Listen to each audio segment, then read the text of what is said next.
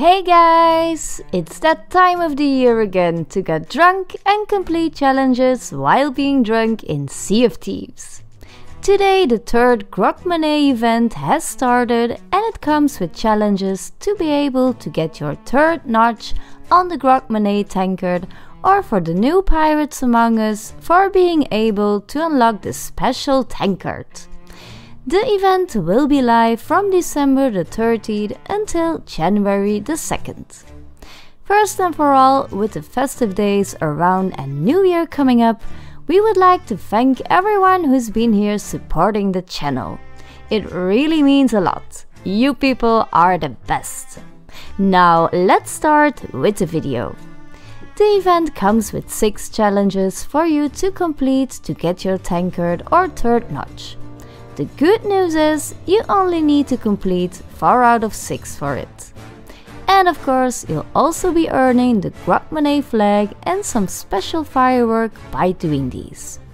Keep in mind that you can only complete these challenges by being drunk, so that means you'll need to drink at least 3 tankards of grog to make sure it counts.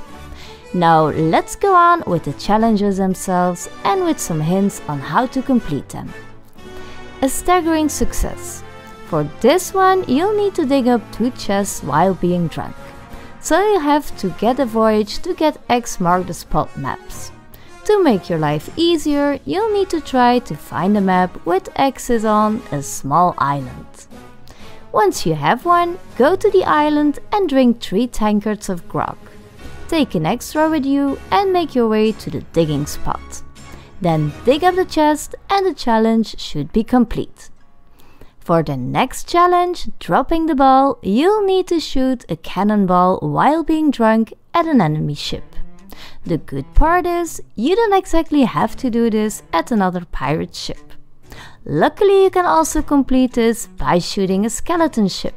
So check the horizon for a skeleton ship, then try to park near it and you can even harpoon them to make it easier because shooting that cannonball while being drunk is not that easy.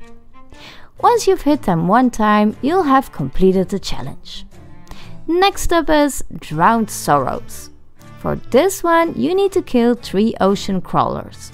They usually can be found really easy at random islands. Best way is to sail around the islands and check if you see one. Once you've spotted them, park your ship get drunk, and fight them. For the next challenge, Sick Burn, you'll need to defeat 10 skeletons by using fire bombs. You can easily do this by searching an active skeleton fort or by doing an Order of Souls bounty voyage. We recommend for this one that you use a voyage that you can buy from the Order of Souls. The reason for that is that we've noticed by doing this challenge if you stack up the skeletons and throw a firebomb, it will only count for one or two of them.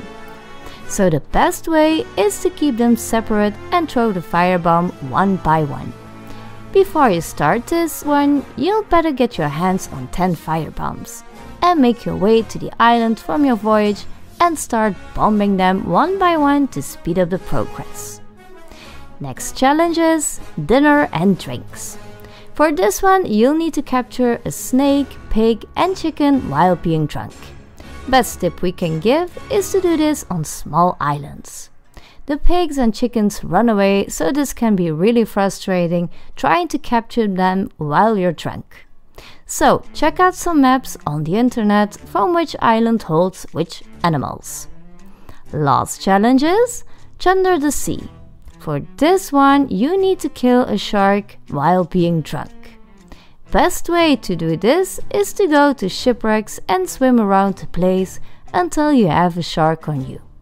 You can also do this in open sea, but they spawn way slower then. Once a shark is there, you swim back onto your ship and this time you'll need to drink 4 or 5 grogs before you jump into the water. The reason why you need to drink more than 3 is that you're going to be sobering up by entering the water. So drink 4 or even 5 of them and kill the shark. It takes 4 pistol shots to kill it. So this was a quick guide about the Grogmanay event. We'd like to wish everyone a happy new year and hope to see you in 2023. If you enjoyed the video, don't forget to give a like.